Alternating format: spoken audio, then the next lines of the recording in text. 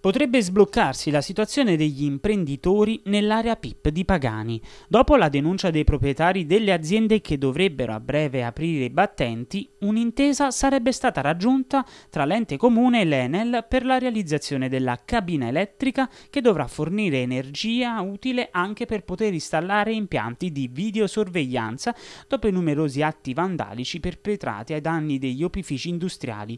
Il sindaco ha assunto il suo impegno.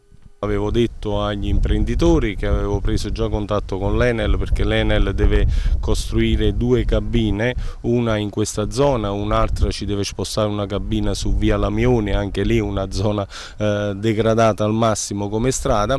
E eh, ho parlato nemmeno a farlo apposta stamattina con l'ingegnere Califano dell'Enel che aspetta da noi solo l'atto finale per la presa in possessa dell'area dove noi dobbiamo andare a costituire la cabina. Quindi la cabina verrà fatta dall'Enel e noi eh, daremo disponibilità all'Enel di fare eh, questi lavori nel giro come comune partiremo subito, quindi gli daremo subito l'autorizzazione a fare i lavori, poi è l'Enel che dovrà provvedere a reperire, quindi a comprare le cabine e installarle in solo. Quindi anche fine questo, del mese si ci farà. Quanto riguarda l'attività comunale verrà fatta già da qui a una settimana, poi è l'Enel che io già ho sollecitato che mi ha dato la disponibilità ad accelerare subito l'intervento.